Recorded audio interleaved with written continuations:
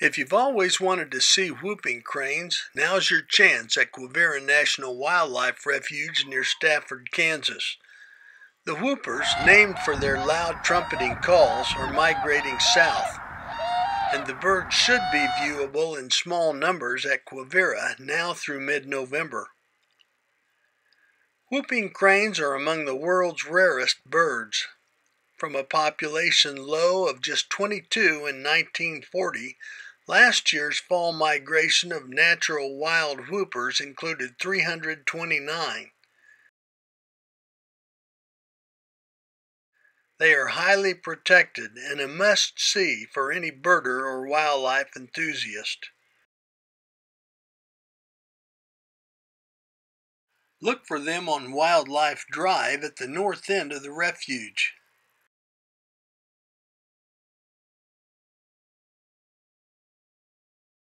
Adults are white and juveniles are a rusty red. Take your binoculars. They may be far from the road. But if you're lucky, they may be close by. I'm Mike Blair in the Kansas Outdoors.